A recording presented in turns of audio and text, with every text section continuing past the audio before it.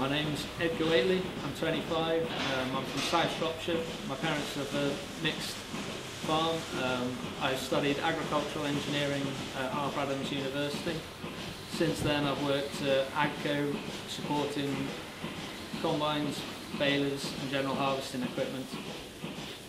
I joined GEA Farm Technologies to work on the MIone robotic milking machine my, what originally attracted me to GEA was the chance to start with a high, highly technical machine from uh, very early stages here in the UK.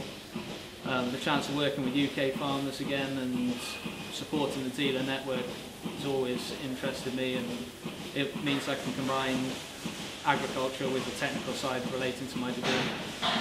Um, I see uh, a good career ahead of me with uh, GEA Farm Technologies, supporting the dealers. Um, the industry as a whole, agricultural, not just dairy, is crying out for younger people with technical knowledge.